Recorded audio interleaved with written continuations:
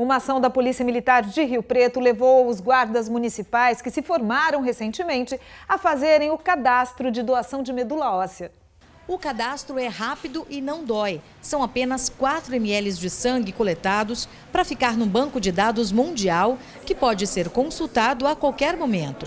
Felipe acabou de se formar pela Guarda Municipal de Rio Preto e fez questão de fazer o cadastro. É uma ação muito simples e muito importante, porque ela vai salvar várias vidas e é um ato para gente é, que não vai doer nada, é rápido, tranquilo.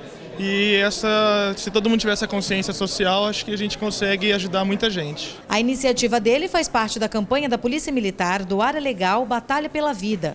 Os 100 guardas municipais formados recentemente foram convidados para fazer o cadastro. Porém, é, é uma atitude muito boa que a gente quer estender para toda a Guarda Municipal. E olha que muita gente foi até o Hemocentro. Gente como a Lívia, que já é doadora de sangue e sabe da importância da ação. Por mais que esse banco seja mundial e a gente tem uma porcentagem mínima de ser compatível, mas mesmo assim o ato é importante para que a gente possa salvar várias vidas. Qualquer um pode ser doador de medula óssea. Basta ir até o Hemocentro e fazer o cadastro. Basta ter entre 18 e 54 anos de idade, comparecer aqui ao Hemocentro com documento oficial com foto, faz um cadastro com os dados pessoais, nós coletamos 4 ml de sangue. Está feito o cadastro.